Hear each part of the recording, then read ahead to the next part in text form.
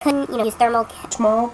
You can get them on Hair Sisters or, um, sorry, hairsisters.com or one of those hair websites anyway.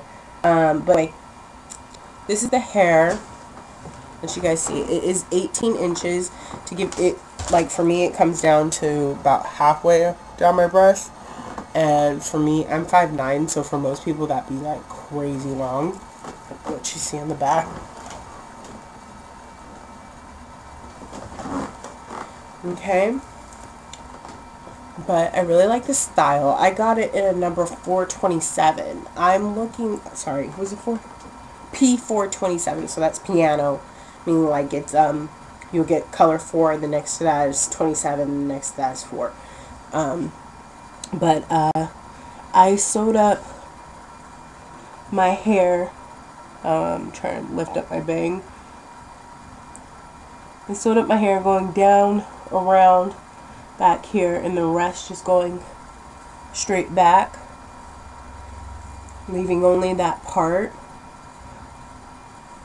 And now I need a comb and I don't have one in here do I? But um, that's how I did my hair. I just have that one part and then I have my own hair left in the front and in the front up here and then again in the very back so just the short um, the top shortest layer of my hair is out and showing but I really like this look. It's only three days old. Um, since I'm probably not going to get a chance to show this video to you till later anyway, um, I'll try and like record for how I feel right before I take it out. But like I said, I might take it out a little early just because, um, I don't know, I wasn't really planning on leaving it in that long. And it's a little bit more hair than I thought it would be. But I wanted to show you guys how the curls look before I separate them too much, before I, uh, you know, because separating, I just do like this. And for me, I know um, with my synthetic weaves too, just like any other weave, the curl patterns would change a little bit, slightly, just because um, what I normally do is I will start to brush my curls out, which to me looks even more natural. Um, but overall, with synthetic hair, the curls will start to gather again I'm trying to think, was there anything else I could tell you guys about this weave? So far, so good. I've had it in one day, slept on it. I did not um, flat iron my hair with the synthetic hair to blend. I just simply wrapped.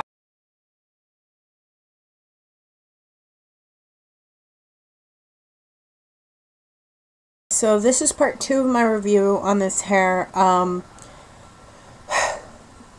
it is nice hair, um, but I would not leave it in for longer than two weeks. It's already really ratty. You can see like the end, you know, it looks like fake hair, um, like synthetic hair. Um, I constantly have to comb and brush.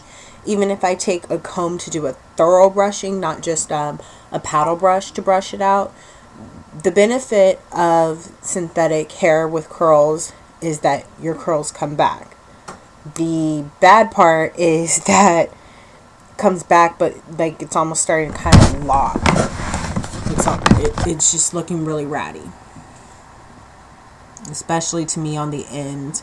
Even a friend of mine who doesn't wear hair extensions at all, doesn't really know anything about them other than what she like the little bit that I'll tell her about with mine when um she she was like they're looking kind of ratty now you know they were okay for tonight but she was even like, it's time to take it out. so, um, but I've had it in for two weeks and two days.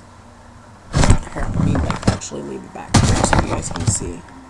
Two weeks and two days. Another note I would make for those of you um, when wearing hair like this, the weft, it seems like it's a lot thinner. And you want to make sure that you probably double secure when you're sewing it in because one thing I've noticed, especially because synthetic hair kind of, I think I itch a little more with synthetic hair for one, but what I noticed is that um, it seems to break the string easier. Whereas when I use human hair, for some reason, I don't normally have to worry about my strings getting broken. Like the string when you sew it in, I sew it in once, I don't have to touch anything up. Um, but I do remember before with synthetic hair, sometimes I would have that problem, and I did have that problem with this hair that I had to go back and um, sew certain parts over again because it would actually like cut through the string.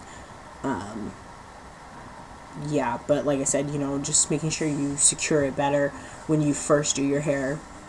That's not a problem. Just don't do a lazy job like I had done when I did this. But I'm just showing you guys because I'm actually about to take it down because uh, you can see it's not looking so cute anymore. That's why I was wearing a hat today.